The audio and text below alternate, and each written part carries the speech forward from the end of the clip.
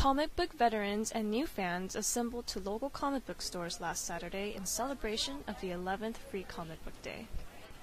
Amazing comics worker and Cal State Long Beach student Danny Corello says his favorite thing about the event is seeing the crowd and the energy they so bring and the. Avengers right now is turning out to be pretty huge.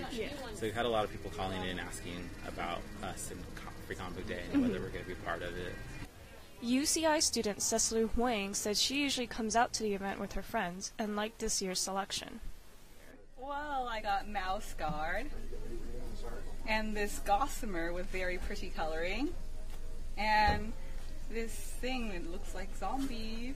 Amazing Comics also held raffles throughout the day where prizes included movie posters, comics, and action figures.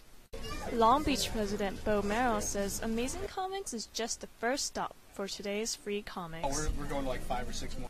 Free Comic Book Day always takes place during the first Saturday of May. For Beach News, this is Diana Sanglab.